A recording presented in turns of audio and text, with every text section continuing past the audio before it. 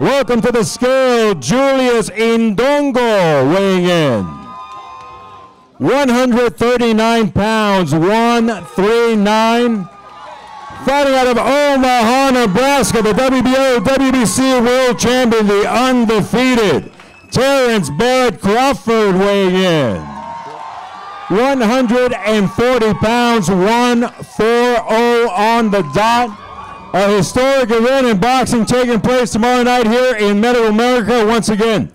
It becomes the epicenter of the boxing world, Lincoln, Nebraska, Pinnacle Bank Arena. If you don't have your tickets in hand quite yet, a select few still remaining, once again being presented to you by our Hall of Fame boxing promoter, Bob Arum's.